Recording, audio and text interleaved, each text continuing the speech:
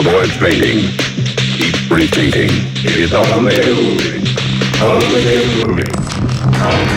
Ο Wes Craven γεννήθηκε στο Cleveland το 1939 και είναι ήδη θρύλος, ειδικά στις ταινίες τρόμου.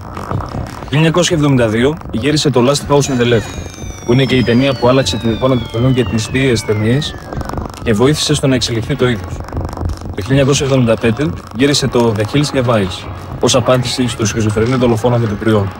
Και επιχείρησε και ένα δεύτερο μέρος αυτού, ακολούθησε ένα έργο που παραμένει άγνωστο σήμερα, το Deadly Blessing, το 1982 ανέλαβε το φιλόδοξο σχέδιο να μετατρέψει έναν ήρωα ακόμη στο ζωντανό. Το Swan Thing ήταν ένα καλογυρισμένο έργο με αρκετά εφέγγια φράση.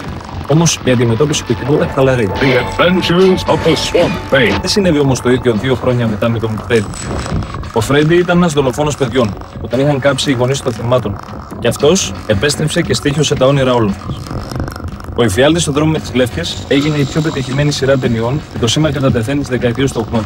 Ο Craven ήταν πια άνετος να πειραματιστεί και δοκίμασε διαφορετικές κατευθύνσεις στον χρόνο.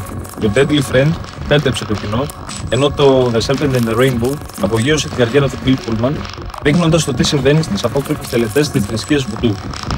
Ακολούθησαν τα Shocker και People Under the Stairs, στα οποία ο Wes Craven προσπάθησε να αναβιώσει την επιτυχία του Freddy, χωρίς να τα καταφέρει. Και έτσι, χωρίς δεύτερη σκέψη, το 1994 επέστρεψε στον ήρωα που τον έκανε διάσημο, δίνοντας όμως στον κοινό ένα snuff έργο για την επίδραση της αρχικής ταινίας στους συντελεστές της. Το 1995 συνεργάστηκε με τον Eddie Murphy σε μια κομμωδία τρόμου για ένα μαύρο βαμβίρο στο Brooklyn, που όμως δεν ενθουσίασε κανέναν. Όλα άλλαξαν όμως την επόμενη χρονιά. Με ένα σενάριο που αρχικά ο Craven είχε κλείσει. Ένα slasher teenagers movie που ονομαζόταν Κραυγή. Η ταινία έμεινε να έχει και δύο συνέχειες. Τα δύο τελευταία του έργα μετά το Scream 3 δεν τα είδαμε ποτέ στην Ελλάδα.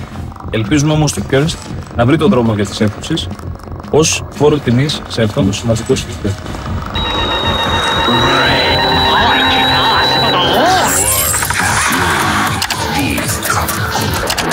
The dramatic nature of this movie comes early this year.